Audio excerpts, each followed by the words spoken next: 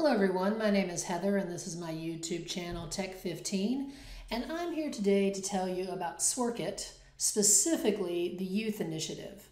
Now for those of you out there who are big fans of Go Noodle, and if you aren't familiar with Go Noodle, check out GoNoodle. Uh, I also have a video on Go Noodle, but Go Noodle is a video channel with all different types of brain breaks and activities and physical activities and all different types of stuff like that.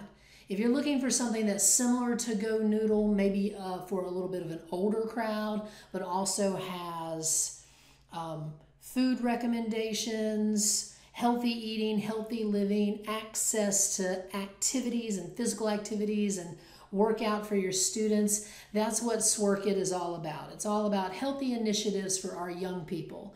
And the nice thing about SWORKIT is SWORKIT is a physical fitness app for adults, and they've created a youth initiative for young people, which is freely available for anyone in the field of education. And if you would like to sign up for SWORKIT, you just scroll down here to the bottom if you have a classroom.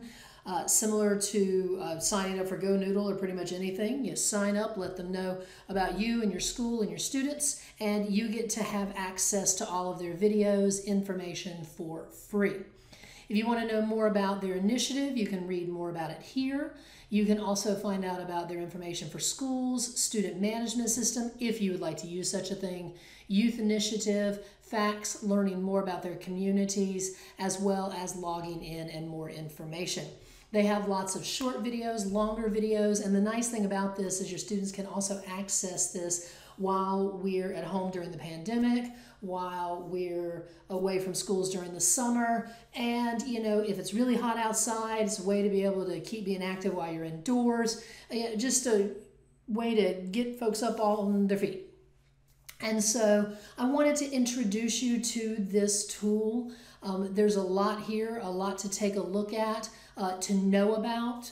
Uh, similar also to the Calm app, this is another tool that's out there that is freely available to those of us in the education field that you may not know about. Calm is another one that is freely available for educators as well. So between Calm, Go Noodle, and SWORKIT, you might find some things that might be great for you as an educator, for your students, and just some information that you know you might want to check out.